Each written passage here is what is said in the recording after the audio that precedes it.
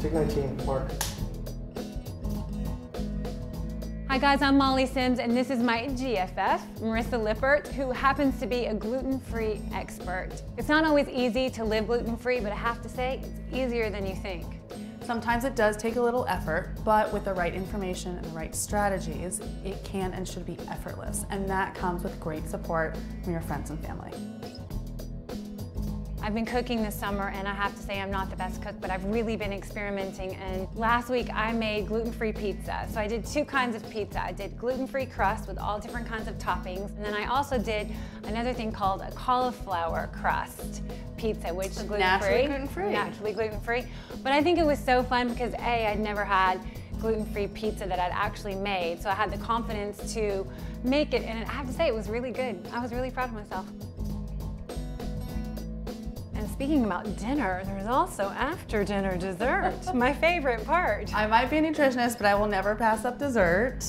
So there is a smart and strategic way to indulge, and that's why I love sort of the variety that we have going on here. I think a lot of people think, you know, just because you're gluten-free, you can't have all those goodies. I mean, the one thing I love about Udi's, even though I just started with the granola in the beginning, you've got your brownie bites, you can make your whoopie pies with your own frosting, your chocolate chip muffins. Look, I mean, how pretty is that? So that's your muffin with your own frosting. You can have gluten-free wafers, you can have chocolate chip cookies.